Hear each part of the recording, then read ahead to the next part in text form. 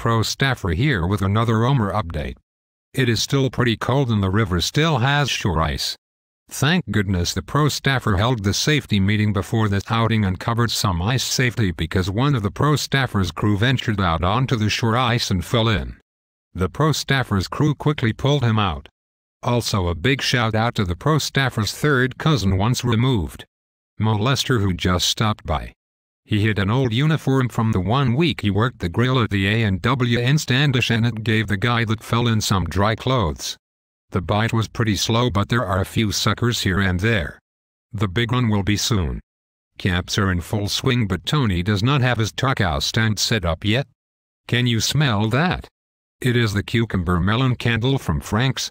Exciting news pro staffer bobbleheads are in the works and rumor has it that Northwoods has 5 pound bags of gummy peach rings. Now it is almost time for the season final of The Walking Dead. I can't wait.